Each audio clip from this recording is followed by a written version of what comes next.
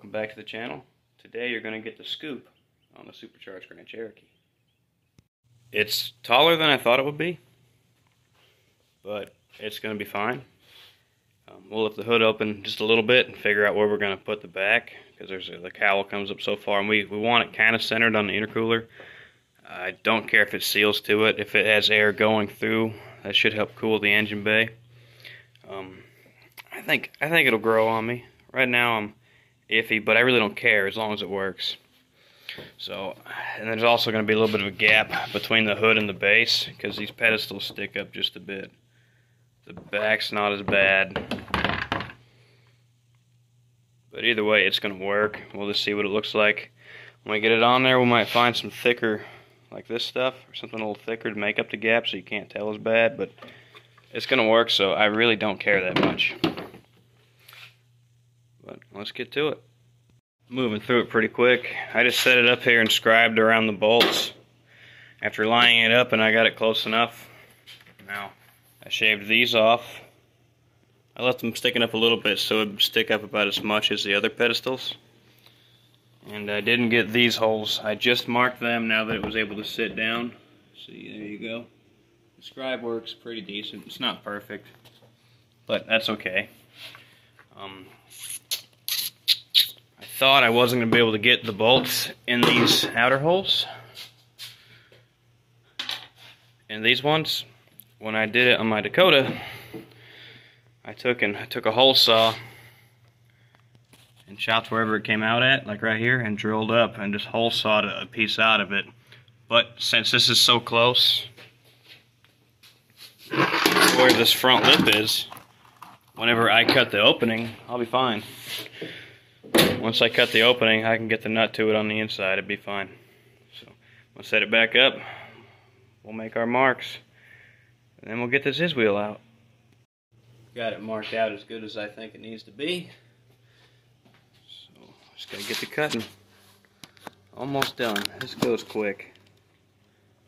Now, if you wanted to be more precise, then I guess it wouldn't go so quick, but I don't care.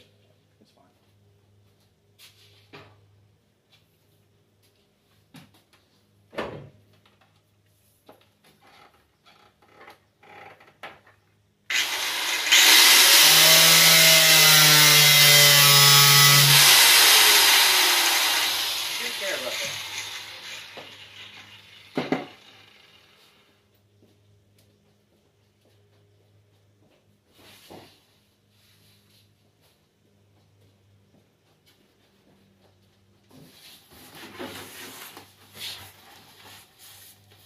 that.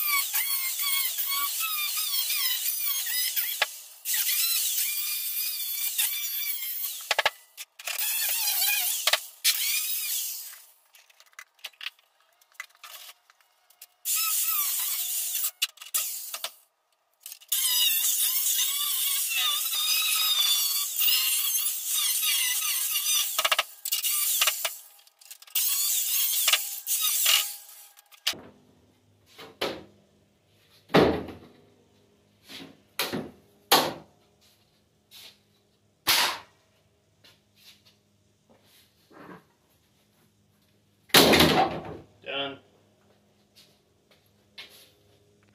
Just kidding. I still gotta trim some more. I got a little carried away right there. Probably push that up. I don't want to be pushing, you know, scooping air down into the hood. I probably could have cut it a little shy of that brought it forward, but it's too late now. Be alright though. It's just about centered on our where that's at. So we should be pretty decent when we get the intercooler in there. I'm gonna clean that up a little bit and we'll find some nuts for this thing. And done.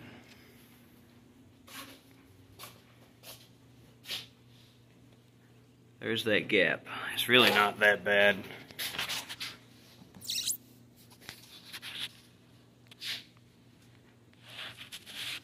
But that's gonna work.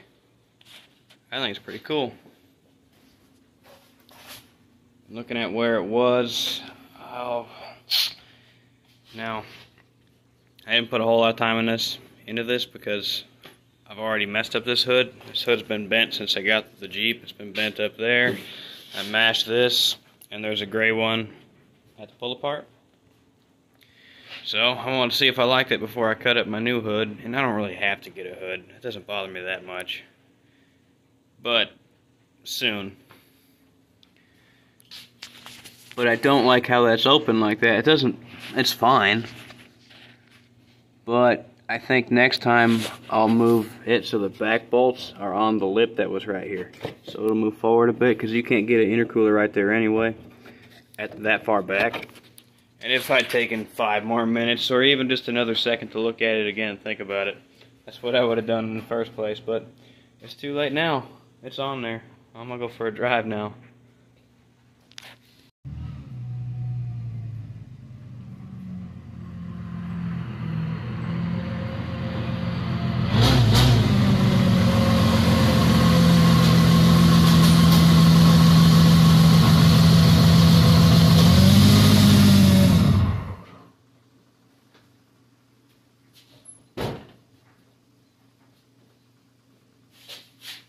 I don't know how everybody else feels about it.